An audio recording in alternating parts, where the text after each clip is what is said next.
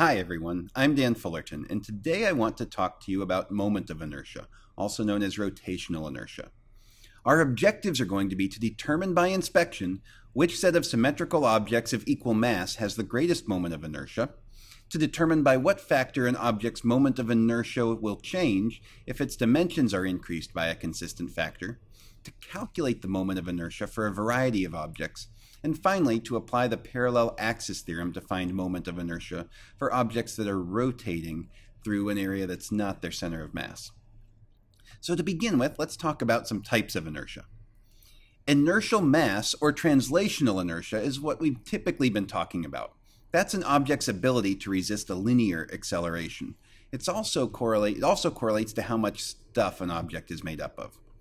Moment of inertia, or rotational inertia, on the other hand, describes an object's resistance to a rotational acceleration.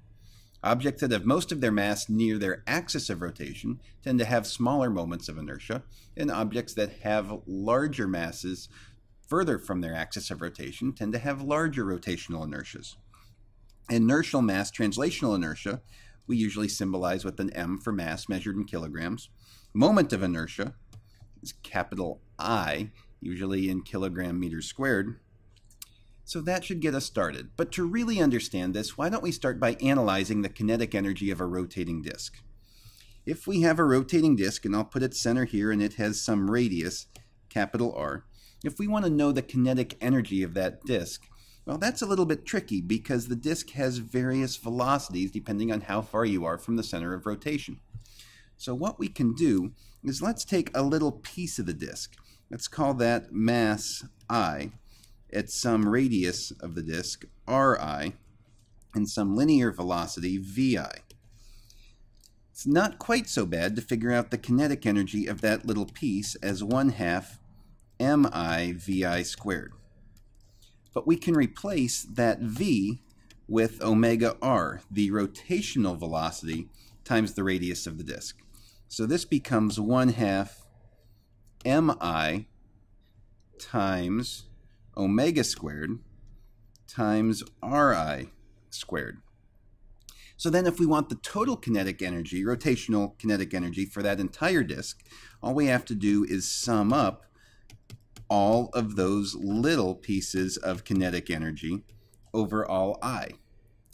When we do that then, that becomes the sum over all i of 1 half mi omega squared ri squared. As we look at this, the 1 half is a constant, and the angular velocity is going to be the same for all the little pieces on the disk. So those are constants. We can pull those out of the summation.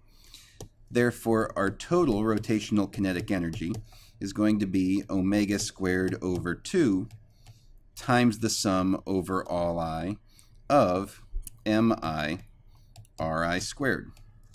Now we're going to define our moment of inertia. Capital I then becomes the sum of mr squared. So I can replace mr squared, sum of mr squared, with i, and I find out that my total rotational kinetic energy is going to be 1 half i omega squared. And look how similar that is to our translational kinetic energy, 1 half m v squared. So we look at this, we have the same 1 half. We go from mass to moment of inertia, and we go from velocity to rotational velocity. Just like when we did rotational kinematics, there's an analog to the translational variables. Let's see how we calculate moment of inertia. If I is the sum of mr squared for a set of discrete particles, we could also look at that as the integral for a continuous system of r squared dm. If we look at moment of inertia calculated for some common objects, I equals 1 half mr squared for a disk of some thickness. For a hoop, it's I equals mr squared. I equals 2 fifths mr squared for the solid sphere, or 2 thirds mr squared for the hollow sphere. For a rod rotating about its center of mass, we have 1 12th ml squared. But if you move that axis of rotation to the end of the rod, it becomes 1 third ml squared.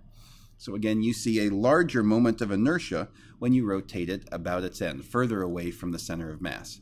it's harder to accelerate something in that manner. So let's see if we can't calculate some moments of inertia on our own. We'll start with a set of point masses. Find the moment of inertia of two 5 kilogram bowling balls joined by a meter long rod of negligible mass when rotated about the center of the rod. And we're going to compare that to the moment of inertia when we rotate it about an end. So let's start with the one in the center. In this case, moment of inertia is going to be the sum of all of our masses times the square of their distance from the axis of rotation. So that's going to be m1 r1 squared plus m2 r2 squared. If that's r1, that's r2. Those are both equal to r. In this case, it's a meter long rod, so that'll be half a meter. We'll call this mass 1 and that mass 2. So that's going to be m1 5 times r1 0.5 squared plus m2 5 times r2 still half a meter 0.5 squared or I get a moment of inertia of about 2.5 kilogram times meter squared. Now over here, when we rotate the same object about its end, we're expecting a larger moment of inertia. That's going to be harder to accelerate in a rotational manner. So now, same formula, I equals the sum of mr squared, which is going to be m1 squared, or pardon me, that's going to be m1 r1 squared plus m2 r2 squared.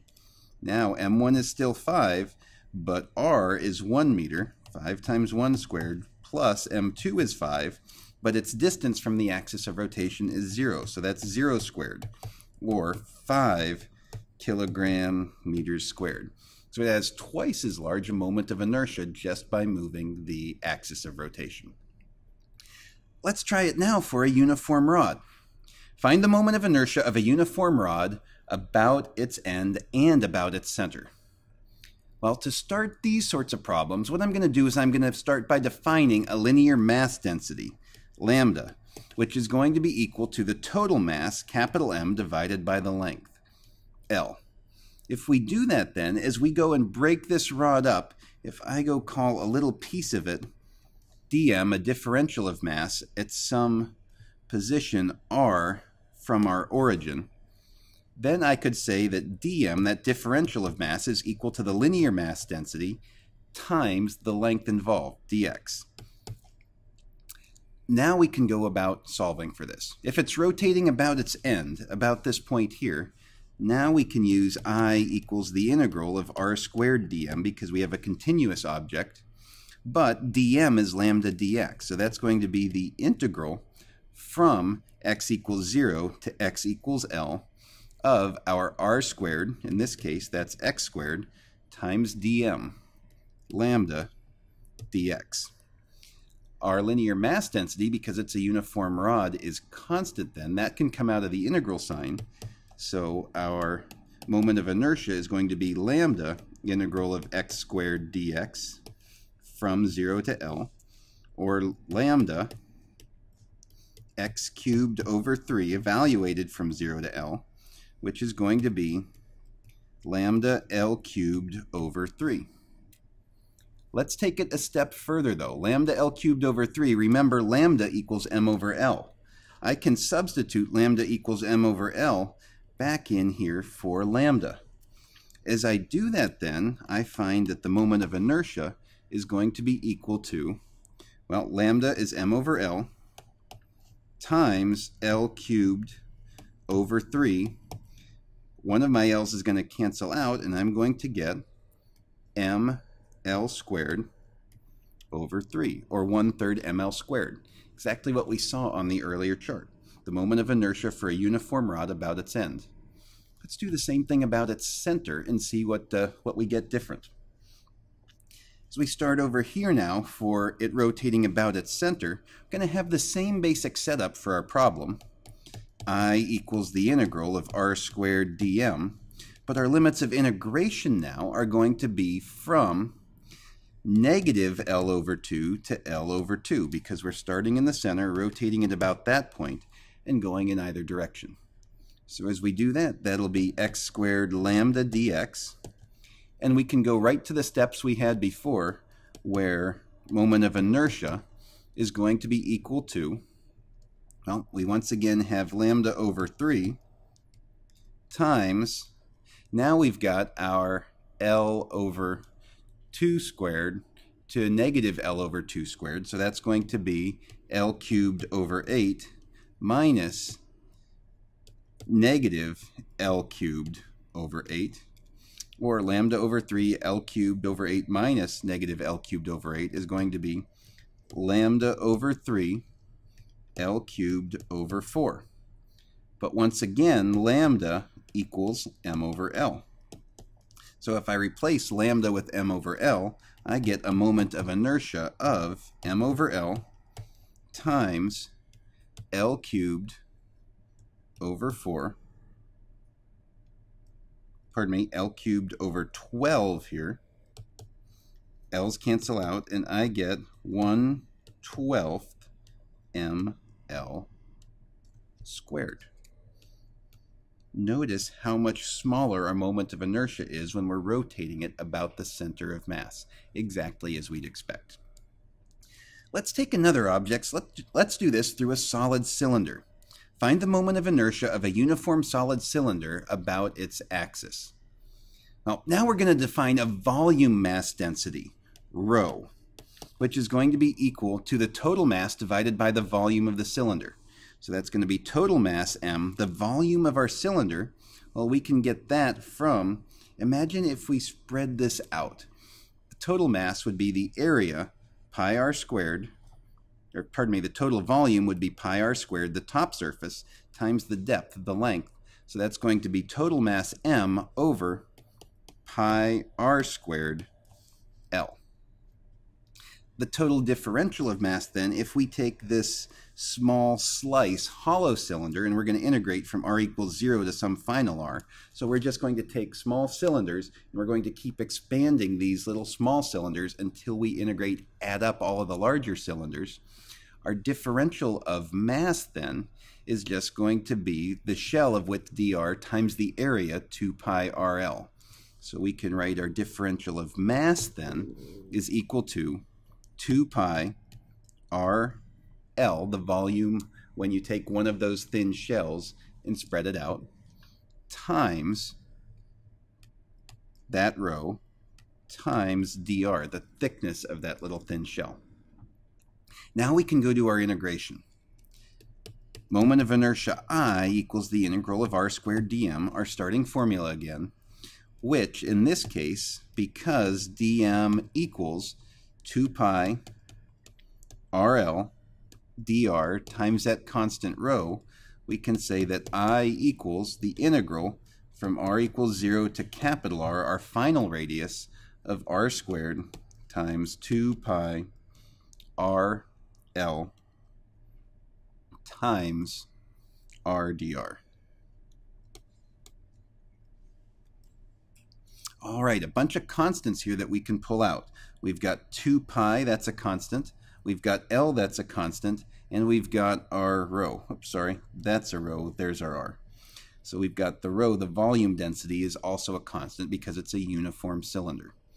So that becomes 2 pi rho times L integral from 0 to capital R of r cubed dr.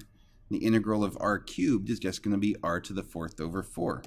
So that's 2 pi rho L r to the fourth over 4 evaluated from 0 to r, or 2 pi rho L capital R to the fourth over 4. Now, in order to get this into a more manageable form, let's go back to our definition of rho here. If rho is m over pi r squared L, Let's put that back into our equation and find that I equals 2 pi times our rho, capital M, over pi r squared L times L, r to the fourth over 4. And we've got some simplifications we can do here. r squared here is going to leave us with an r squared up there. We've got an L, we've got an L, a pi, a pi. 2 and the 4 is going to leave 1 half. And I come up with 1 half, I'm left with m r squared. So there's the moment of inertia for a uniform solid cylinder. Hopefully these are starting to make sense. They really take a bit of practice to get down very well though. Let's take a look at one more theorem that's really going to help us out here. The parallel axis theorem says that if you know the moment of inertia of any object through an axis intersecting the center of mass, then you can find the moment of inertia around any axis that's parallel to that initial one. So if we call the axis through the center of mass L, if we know the moment of inertia through L, we can find the moment of inertia through L prime as long as L prime is parallel to L. Here's how it works. The moment of inertia through an object at a different different uh, different axis, IL prime is just going to be equal to IL plus we have the mass of our object times the dist distance from the center of rotation axis to the new axis squared. So if we know through the center of mass, we can find through a parallel axis. Let's take a look and see how this works for an object like our uniform, uh, uniform rod. Find the moment of inertia of a rod of mass m and length l about one end of the rod using the parallel axis theorem. And we're going to start with the given, if you remember, that the moment of inertia through the center was 1 12th ml squared. So I through the center of mass was going to be 1 12th ml squared. So if we're now going to rotate it about its end, we're moving it over a distance of L over 2. That's going to be our d. So the moment of inertia about an end is going to be the moment of inertia through the center plus its total mass m times this distance L over 2 squared. So that's going to be 1 12th ml squared plus m L squared over 4. Well, 1 12th ml squared plus ml squared over 4. Let's make that 3 ml squared over 12 is going to be 4 ml squared over 12, which reduces to ml squared over 3. Exactly what we were expecting as we derived this earlier through the calculus method. So that's how we can use the parallel axis theorem to easily find the moment of inertia through an object if we at a different point than the axis of rotation through the center of mass. Nice, quick, simple way to do that, as long as that new axis is parallel to the original axis. Hopefully that gets you started with moment of inertia, rotational inertia. If you need more help or have questions, check out aplusphysics.com. Thanks, make it a great day.